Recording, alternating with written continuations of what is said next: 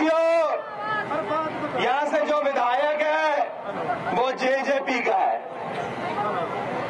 लेकिन मेरा ये विश्वास है कि इस बार उचाना विधानसभा के लोग जेजेपी को जमानत जब्त पार्टी बना देंगे। आज के बाद जेजेपी इस विधानसभा क्षेत्र हरियाणा के नब्बे विधानसभा क्षेत्रों में जमानत जब्त पार्टी के नाम से जानी जाएगी।